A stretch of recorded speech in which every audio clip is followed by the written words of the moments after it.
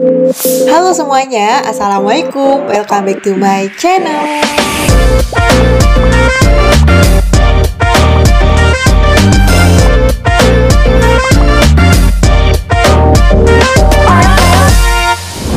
Jangan lupa buat like, comment, dan subscribe Halo semuanya, Assalamualaikum, welcome back to my channel. Jadi kali ini aku bakal nge-shopee haul nih Sepatu sport ataupun sepatu import yang harganya murah-murah banget.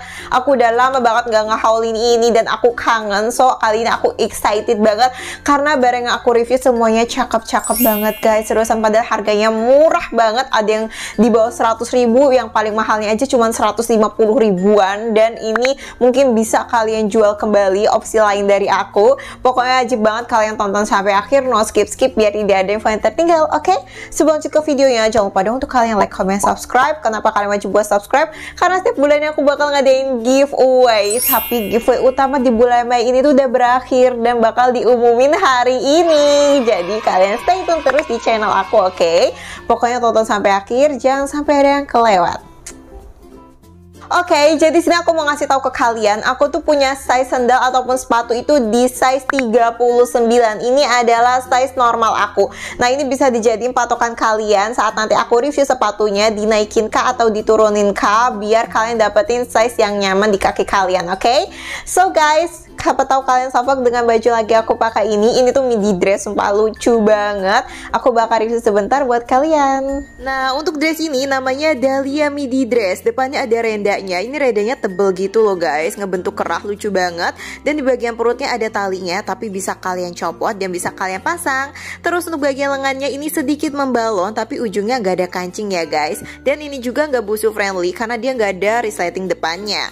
Terus guys, ini bahannya adem banget tuh dari Zara Crepe Import. Untuk panjang dari dress ini tuh 125 cm dan LD-nya tuh 110 cm, lumayan besar ya. Dan yang lagi aku pakai ini warna soft pinknya, masih ada pilihan warna lain. Pakai ini warna soft pinknya, masih ada warna lain yang cakep-cakep juga. So aku udah taruh link midi dress ini di description box, jadi jangan lupa buat kalian ngecek, oke? Okay? Nah untuk kali ini aku tuh habis borong dari berbagai macam toko di Shopee untuk sepatu import ini. So langsung aja kita masuk ke look yang pertama.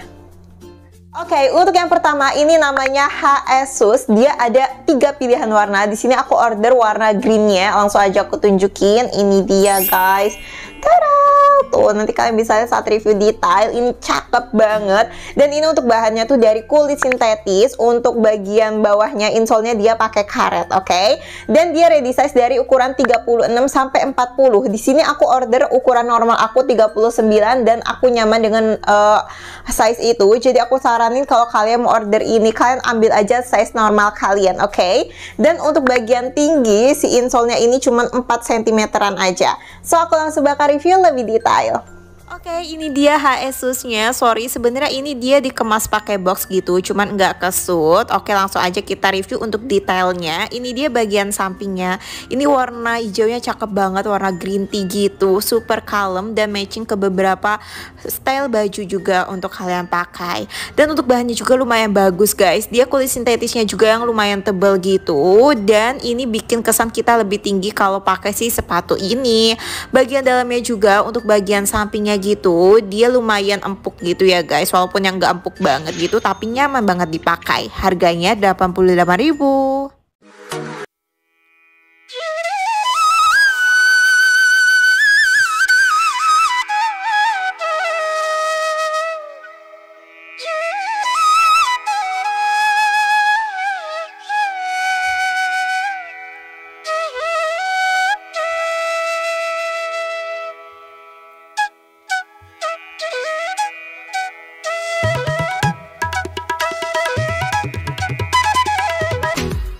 Oke, okay, untuk selanjutnya ini namanya Lisa Sus. Dia ada dua pilihan warna. Di sini aku order warna krimnya. Langsung aja aku tunjukin. Ini dia guys, sumpah. Ini cakep banget, kayak cocok buat segala warna OTD kalian. Dan ini untuk bahannya tuh kulit sintetis dan untuk bagian insolnya dia dari karet juga. Nah, untuk ready size-nya dia 36 sampai 40. Di sini aku order ukuran 39 di size normal aku dan dia pas. Jadi aku saranin kalau mau order sepatu ini ambil aja size size normal kalian, oke? Okay? Dan guys, untuk tinggi si insole-nya ini dia 5 cm-an. So, aku langsung bakal review lebih detail. Oke, ini dia statusnya. Jadi dia tuh pakai box kayak gini, tapi di dalamnya sepatunya dilapisin lagi dengan plastik bening. Dan guys, ini dia detailnya. Ini cakep banget warnanya. Jadi warna sepatu ini tuh bisa matching ke segala warna OOTD kalian. Dan ini dia untuk detail sampingnya. Jahitannya rapih banget guys. Terus kulit sintetis yang dipakai juga bagus, enggak yang tipis gitu. Dan ini dia untuk anti slipnya juga oke okay ya. Aman lah pokoknya, enggak bikin licin kalau dipakai. Dan ini dia ya guys detail depannya kulit sintetisnya juga dia yang lentur kayak gitu jadi nyaman banget dipakai. Dan untuk sepatu ini juga dia bikin kesan lebih tinggi kalau kita pakai guys. Ini dia warna talinya juga senada banget. Dan untuk bagian samping-sampingnya nih bahannya juga dia enak gitu empuk gitu loh guys untuk bagian sampingnya. Jadi nggak bikin lecet kalau dipakai. Tapi untuk bawahnya juga walaupun dia enggak empuk banget tapi nyaman banget dipakainya. Untuk harganya ini 130 ribuan aja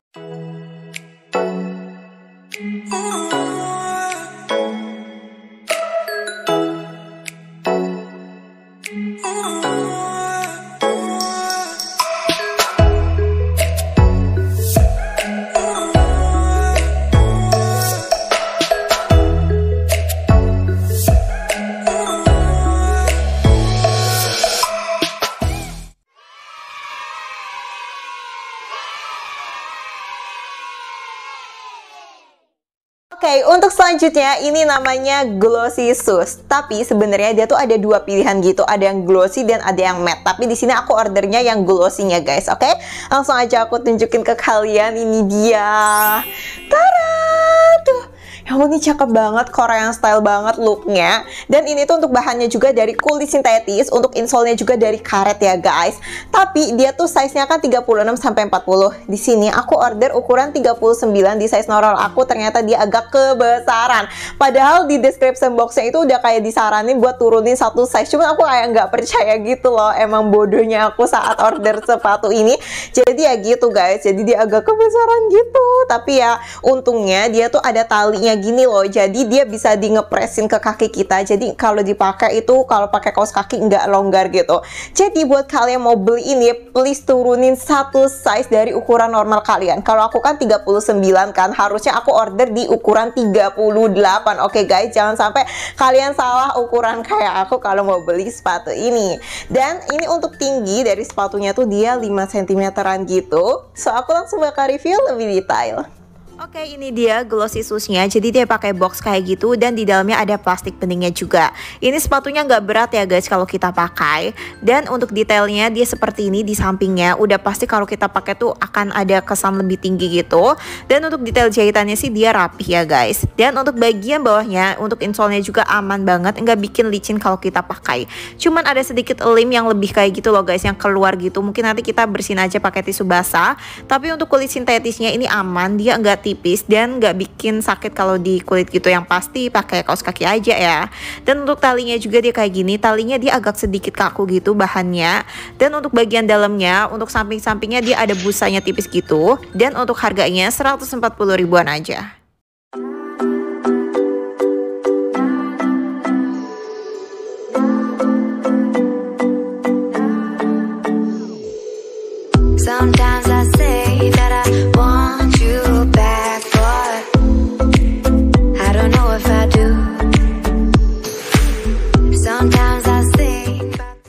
untuk selanjutnya ini bonus guys. Ini namanya Jaslyn Sauce. Kalian kalau udah sering ngeliat aku pasti sering banget aku pakai si sepatu ini. Yaps, ini sepatu masih best seller juga guys. Jadi dia tuh ada empat pilihan warna gitu. Di sini aku tuh punya warna hitamnya. Dan ini dia guys tuh. Ini udah sering aku spoilerin. Bayangin ini udah hampir 2 tahun aku pakai tapi dia masih bagus aja padahal harganya murah dan dia juga nyaman banget dipakainya. Ini untuk bahannya tuh dia dari kulit sintetis tapi untuk bawahnya juga insole-nya dia pakai karet gitu dan dia ready size dari 36 sampai 40. Di sini aku beli ukuran 39 dan dia pas di kaki aku. Jadi aku saranin kalau kalian mau order ini ambil aja size normal kalian, oke? Okay? Dan guys, untuk tinggi insole-nya dia cuma 3 cm aja, oke? Okay? So aku langsung bakal review lebih detail. Nah, Justin Sus ini salah satu sepatu yang aku favoritin banget. Udah satu setengah tahun lebih aku pakai sepatu ini, mau buat OTD aku ataupun mau buat try on di video, oke-oke aja. Dan sorry ini agak sedikit kotor karena kemarin habis aku pakai, tapi ya nggak kotor-kotor banget lah ya. Jadi masih layak aku review sekarang. Dan guys, ini bener-bener model sepatunya itu yang simple gitu. Jadi kayak masuk ke segala warna ataupun OTD kalian gitu loh. Dan aku juga suka bagian dalamnya ini. Dia sampingnya itu bener-bener tebel dan empuk kayak gitu. Terus untuk bagian bawahnya juga walaupun dia nggak empuk banget tapi nyaman banget guys dipakai. Dan untuk harganya juga dia murah banget cuman 150 ribuan aja.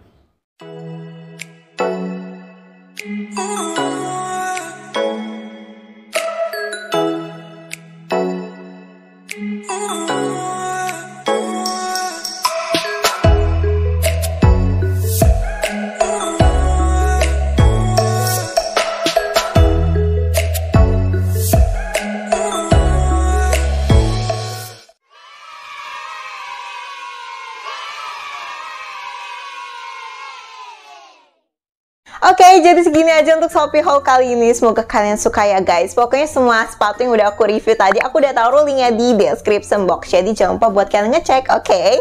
Dan guys, tadi aku udah umumin pemenang mini giveaway dadakan part 3. Ada dua orang. Aku ucapin selamat ya. Tapi nih, belum aku umumin pemenang giveaway utama Maret ini. So, eh, Maret ini, Mei ini. Sorry guys. Jadi aku langsung umumin aja.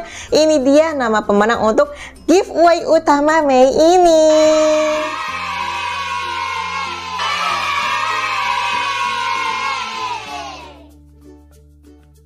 Oke, okay, jadi udah lengkap, udah aku umumin pemenang mini giveaway dan juga giveaway utama aku ucapin selamat. Buat para pemenang, jangan lupa ngeklaim hadiahnya dengan cara sebagai berikut.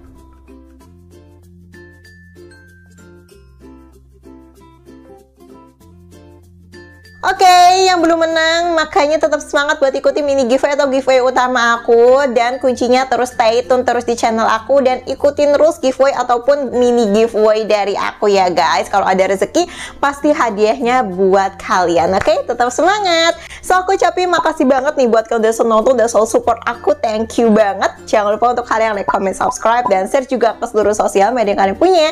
So thank for watching and see you next my video dan jangan lupa untuk bahagia. Wassalamualaikum warahmatullahi wabarakatuh. See you.